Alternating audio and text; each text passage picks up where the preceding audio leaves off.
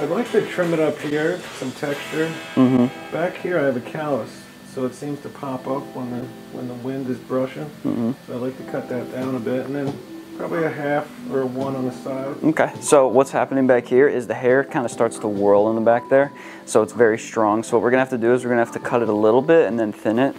But if you're gonna spike the top up and you're gonna put a, like a textured look to the top, you really actually don't have to worry too much about this in the back. So what I'm gonna do is I'm gonna run through and I'm gonna like kind of point cut the top of the hair and it's gonna give it, it's gonna act like kind of like a crutch and it's gonna stand up a little bit easier on its own. With the sides, I'll do like what's called a shadow fade, where it's a half, it's not quite skin on the side, so it'll leave a little bit of hair, and then a nice little taper in the back and should be good to go.